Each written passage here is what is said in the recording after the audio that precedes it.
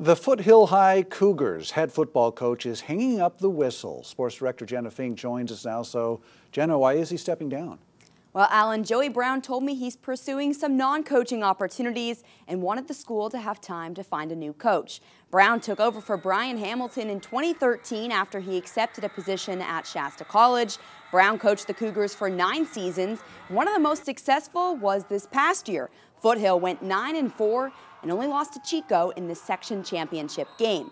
Brown posted on Twitter saying being a head coach at his alma mater was a dream come true.